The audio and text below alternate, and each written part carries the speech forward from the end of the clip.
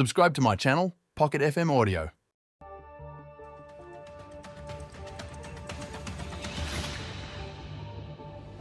Tango तलवार की ताकत से सब कुछ बस पल भर का खेल बन गया था। एक ही पल में परम के पिताजी दर्श आरुषि और शिवहरी को तलवार घाटी स्कूल में अपना बंदी बना लेते हैं। और दर्श को तड़पाने के लिए परम के पिताजी ने आरुषि को टॉर्चर करना शुरू किया। दर्श दर्श बचाओ मुझे बचाओ दर्श। आरुषि चीख रही थी। परम के पिताजी आरुषि को टॉर्चर कर रहे थे। परम के पिताजी के हाथ में नुकीला चाकू था, उस चाकू की नोक आरुषि की ओर थी। दर्श चिल्लाया, आरुषि को छोड़ दो, तुम्हें जो करना है मेरे साथ करो। आरुषि को कुछ नहीं होना चाहिए। आरुषि को कुछ भी हुआ तो तुम ज़िंदा नहीं बचोगे। परम के पिताजी ने दर्श को कहा, हिम्मत है तो मुझे रोक कर दिखाओ।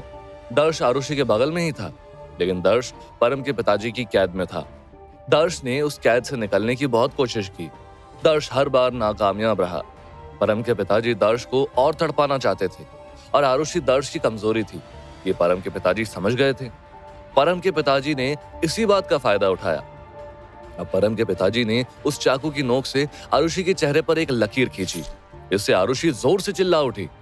दर्श दर्श बचाओ। दर्श आरुषि को यूँ तड़पते हुए नहीं देख सकता था। ऐसे ही दर्श ने अपनी आँखें बंद कर ली। वहीं शिवहरी भी कैद से नहीं छूट पा रहा था। ये सब देखकर परम के पिताजी को बड़ा मज़ा आ रहा था। परम के पिताजी ने आरुषि के दूसरे गाल पर भी अब एक लकीर खींच दी। उसके गालों से खून बहने लगा और आरुषि और ज़ोर से चिल्लाने लगी।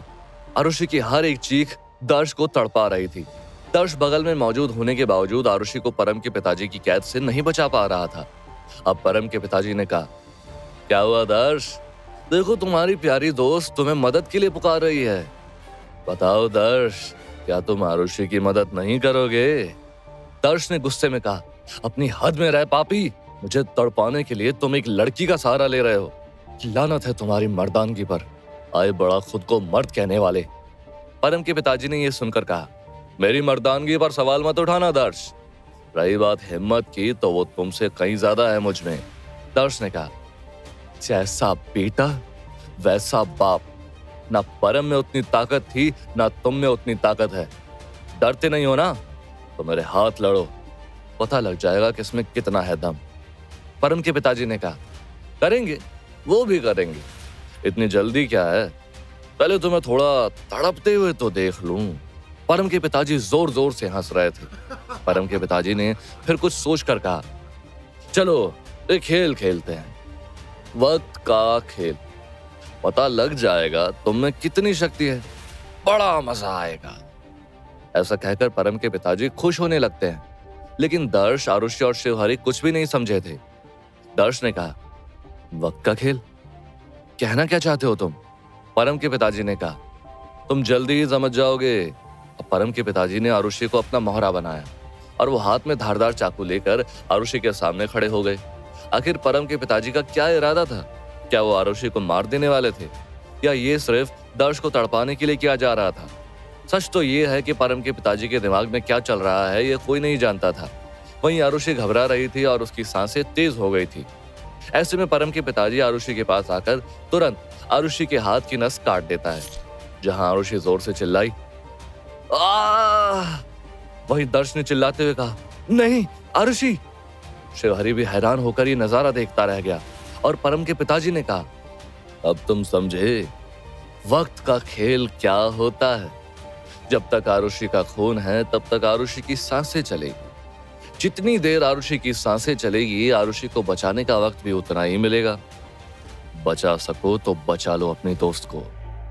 बड़ा मज़ा आने वाला है। ऐसा करके परम के पिताजी खुश होकर अपने सिंहासन पर जाकर बैठ जाते हैं।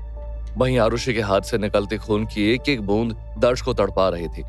दर्श अपनी उस कैद से निकलने की कोशिश करने लगता है। उसकी आँखें लाल हो गई थी और उसकी ये आँखें ही सब बया कर रही थी।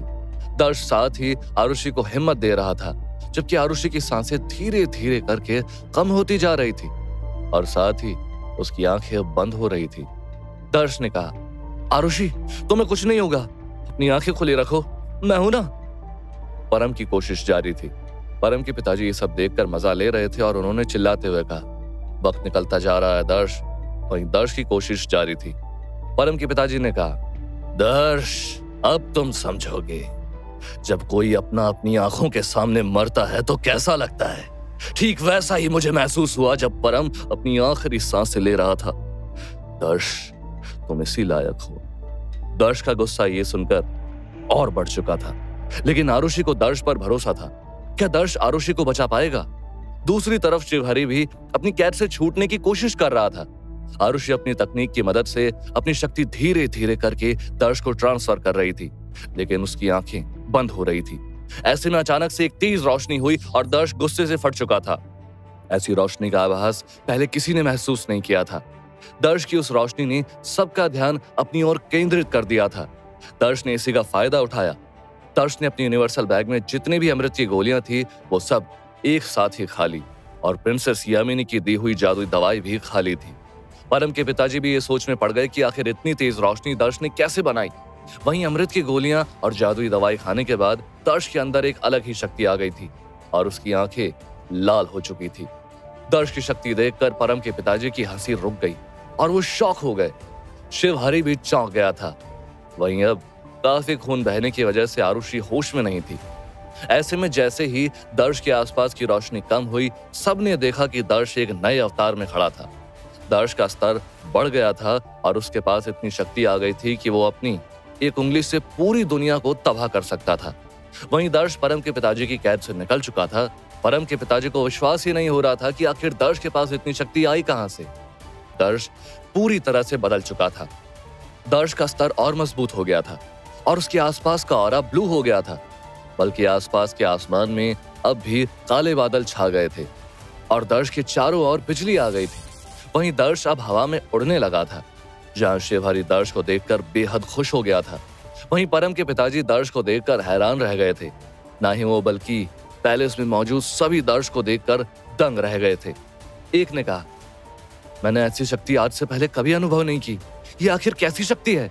दूसरे ने कहा, दर्श बदल चुका है। अब भगवान ही बचाए इसके कहर से। सबके मन में डर घर कर गया था।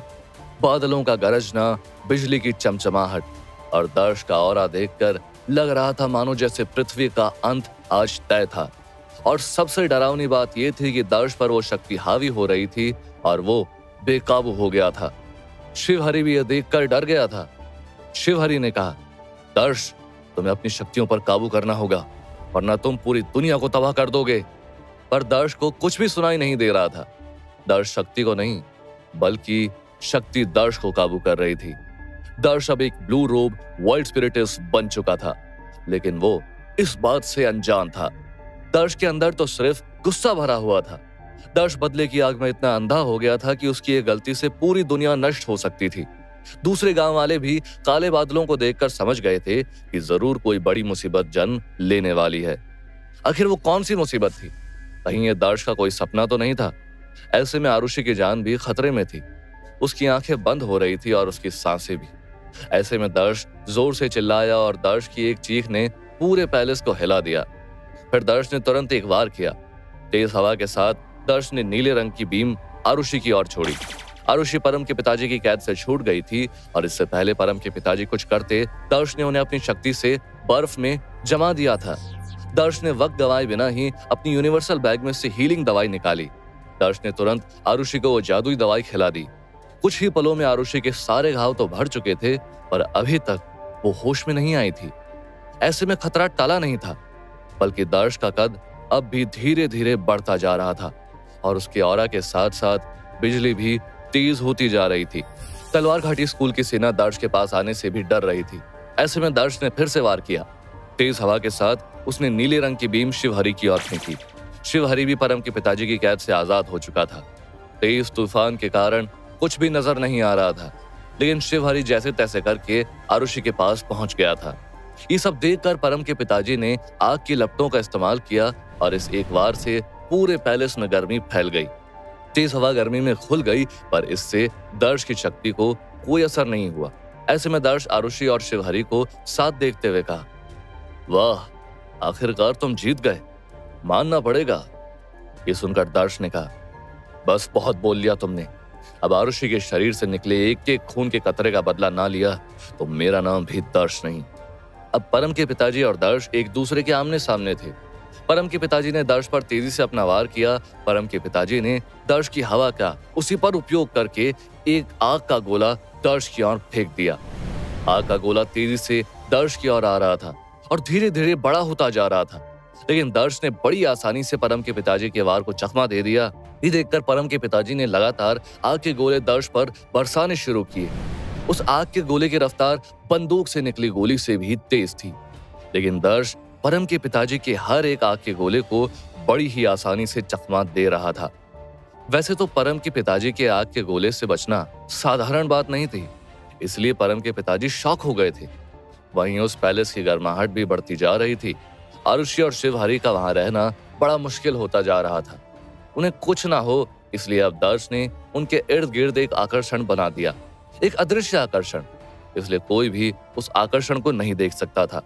और परम के पिताजी चाहकर भी आरुषि और शिवहरी को नुकसान नहीं पहुँचा सकते थे। आखिर में परम के पिताजी ने अपना दूसरा वार किया। परम के पिताजी ने अपने मंत्र से एक जादुई नगरी बनाई, जो हु असली दुनिया से मिलती थी। लेकिन इस जादुई नगरी में सिर्फ़ दर्श और परम के पिताजी ही थे। ये जादुई नगरी कोई साधारण नगरी नहीं थी, बल्कि ये बहुत ही खतरनाक थी। इस नगरी में सिर्फ़ और सिर्फ़ परम के पिताजी का राज चलता था। दर्श का एक भी वार इस नगरी में काम नहीं कर रहा था। आखिर दर्श इस नगरी से कैसे लड़ेगा? परम के पिताजी के साथ कैसे मुकाबला कर पाएगा? लेकिन दर्श बिल्कुल भी डरा नहीं। दर्श वही हिम्मत जुटाकर खड़ा रहा और अगले बार का इंतज़ार करने लगा। अब परम के पिताजी ने अपनी सबसे डरावनी तकनीक का इस्तेमाल किया। होस्ट तकनीक। इस तकनीक का वार जिस किसी पर भी किया जाता है, वो एक गहरे सपने में पहुँच जाता है। और तब तक नहीं उठता जब तक वो खुद की ही शक्तियों से लड़कर हार नहीं जाता। दर्श इस वार से बिल्कुल अनजान था। परम के पिताजी ने दर्श पर एक जादुई गोला बनाकर फेंका। वो जादुई गोला दर्श की ओर तेज़ी से आता है और ये जैसे ही उसे लगता है, उसके सामने अचानक से अंधेरा छा जाता है। लेकिन इसके दो मिनट बाद दर्श फिर से होश में आ जाता है। क्योंकि दर्श ने उस शक्ति को अपने में समा लिया था। ये करना आसान नहीं है, इसलिए परम के पिताजी हैरान रह गए। वहीं दर्श का गुस्सा बढ़ता जा रहा था और आखिरकार दर्श ने बुद्धा पाम तकनीक का इस्तेमाल किया। ये तकनीक का इस्तेमाल करना हर किसी की बस की बात नहीं थी। इस तकनीक के सामने अच्छे अच्छे घुटने टेक देते थे। दर्श के इसवार ने परम के पिताजी द्वारा बनाए पूरी जादुई नगरी को एक ही झटके में तोड़ दिया। दर्श और परम के पिताजी अब असली दुनिया में वापस आ गए थे। परम के पिताजी ने अब कहा, ये तुमने कैसे किया? आज तक कोई मेरी इस जादुई नगरी को नहीं तोड़ पाया है, ना ही मेरे घोष तकनीक से बच पाया। तो तुम कैसे? परम के पिताजी का वार दर्श के सामने कुछ नहीं था। दर्श के पास हर उस वार का तोड़ था। परम के पिताजी को अपनी मौत सामने नज़र आ रही थी। फिर भी परम के पिताजी ने हार नहीं मानी। दर्श ने दूसरी बार अपने बुद्धा पाम का वार किया। दर्श के इस वार ने तलवार घाटी स्कूल को हिलाकर रख दिया। दर्श के एक वार ने परम के पिताजी को घुटनों पर बैठा दिया था और दर्श बहुत शक्तिशाली बन गया था। परम के पिताजी को विश्वास ही नहीं हो रहा था कि वो हार गए थे। ऐसे में परम के पिताजी खड़े भी नहीं हो पा रहे थे। दर्श सच में आरुषि के शरीर से निकले एक एक खून का बदला ले रहा था और वो इतनी आसानी से परम के पिताजी को नहीं छोड़ने वाला था। अब दर्श परम के पिताजी को तड़पा रहा था। दर्श की शक्ति और स्पिरिट को देखकर शिव हरि खुश तो था, साथ ही शौक भी था। आखिर दर्श के पास इतनी शक्ति कहाँ से आई? दूर खड़ा शिव हरि आरुषि का ख्याल रख रहा था, जबकि दर्श ने देखते ही देखते बड़ी ही क्रूरता से पूरी तलवार घाटी स्कूल को जला कर रख दिया था। तलवार घाटी में मौजूद सभी लोग मर गए थे। क्या परम के पिताजी भी उस आग में जलकर मर गए? जब दर्श आरुषि और शिवहरी को उठाकर तलवार घाटी स्कूल से बाहर ले आया, तब जाकर उसका गुस्सा शांत हुआ। दर्श के आसपास नीले रंग का और भी अब गायब हो गया था और आरुषि भी होश में आ चुकी थी। लेकिन एकदम अचानक से दर्श की हालत बहुत ही गंभीर हो जाती है और वो अचानक ही बेहोश हो गया। ऐसे में दर्श उठने की हालत में नहीं था और उसके शरीर पर काफ़ी जख्म भी थे। वहीं आरुषि दर्श को देखकर डर गई थी। आखिर क्या हुआ था दर्श के साथ? वहीं शिवहरी और आरुषि दोनों दर्श को लेकर हज़ार हड्डियों के मकबरे में पहुँच जाते हैं, जहाँ ईशा और देवी दर्श की हालत देखकर डर जाती है। दर्श बेहोशी में अब भी कुछ बड़बड़ा रहा था। आखिर क्या हुआ था दर्श को? क्या ये नई ताकत दर्श को अंदर से मार रही थी? क्या दर्श बच पाएगा? आगे क्या होने वाला था दर्श की ज़िंदगी में? जानने के लिए सुनते रहिए पॉकेट एफएम।